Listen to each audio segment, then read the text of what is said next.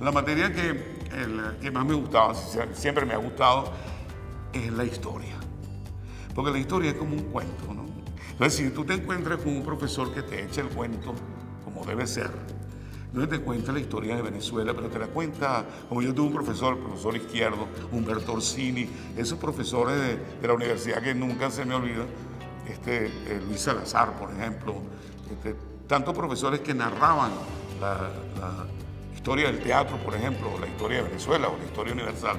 Y esa fue una materia que siempre me gustó. En la matemática no estuve, no estuve bastante, puedo decir que no,